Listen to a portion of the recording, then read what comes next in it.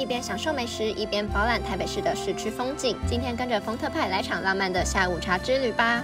全台唯一的双层巴士餐车，本次与台北君悦酒店合作，将自家饭店的美味搬上巴士，品尝美食中还能漫游台北，环绕市区的特色景点。记得在发车前十分钟抵达报到时间，到了司机可就出发，不停车了哟！你还推荐什么台北美食呢？赶紧和风特派分享。